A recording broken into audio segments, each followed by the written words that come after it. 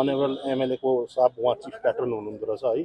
उहाँको गाइडेन्समा यो कमिटीले राम्रोसँगले अर्गनाइज गर्नुभएको रहेछ र यहाँ हामी सबैजना एकदमै यो हेरेर हामी खुसी भयौँ।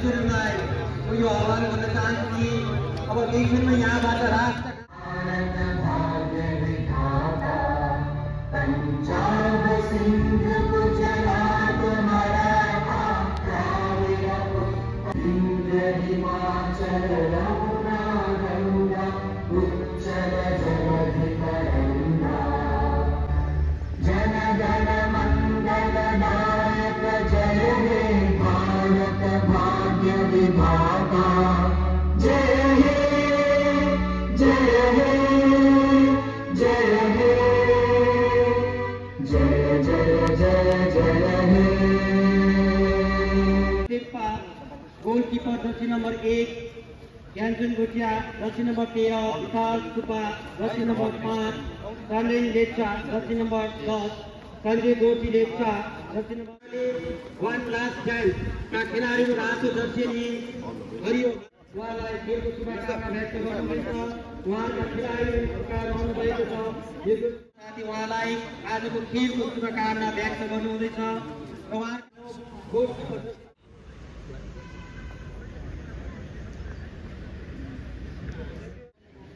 एकदम रमाइलो गेम हो सबैलाई नै मनपर्छ। हजुर विश्वलाई नै मनपर्ने गेम है यो। मनपर्ने गेम। खेल मात्रै नभएर एउटा इमोसन पनि हो नि त है सर। अनि आज तपाईँले यो म्याच जुन चाहिँ हेर्दै हुनुहुन्थ्यो निमटार एफसी भर्सेस हाम्रो वान लास्ट डान्सको जुन चाहिँ गेम है यसमा कडा त कडा नै लाग्यो है हामीलाई पनि अब एज अ अडियन्स हेर्दै गर्दा। तपाईँलाई कस्तो लाग्यो आजको म्याच छ होइन आजको म्याच अब एकदमै राम्रो यो रमाइलो गेम भयो र एकदम मजा राम्रो लाग्यो हेर्नुको लागि। अनि अब यस्तो प्रकारको एउटा हाम्रो अहिलेको भाइ बहिनीहरूले यस्तो प्रकारले एउटा यो खालको गेमहरू यसरी खेल्दाखेरि उहाँलाई पनि एउटा इन्करेजमेन्ट एउटा मोटिभेसन लेभल हाई हुन्छ। र अब अनेबल एमएलएको साहब उहाँ चिफ प्याट्रन हुनुहुँदो रहेछ है। उहाँको गाइडेन्समा यो कमिटीले राम्रोसँगले अर्गनाइज गर्नुभएको रहेछ र यहाँ हामी सबैजना एकदमै यो हेरेर हामी खुसी भयौँ हामीलाई मजा लाग्यो। र उहाँहरूलाई पनि जो जित्नुभयो उहाँलाई पनि एकदमै बधाई छ। र अब गेम भनेको यस्तै हो हार जित भन्ने कुरा त हुन्छै हुन्छ। तर जुन चाहिँ एउटा पार्टिसिपेसन भन्ने कुरा चाहिँ ठुलो कुरा हो र यसरी उहाँले राम्रोसँगले पार्टिसिपेट गरेर यसरी खेललाई अगाडि बढाइदिनु भएकोमा उहाँहरू पनि एउटा ठुलो यो पनि एउटा एचिभमेन्ट जस्तो लाग्छ मलाई।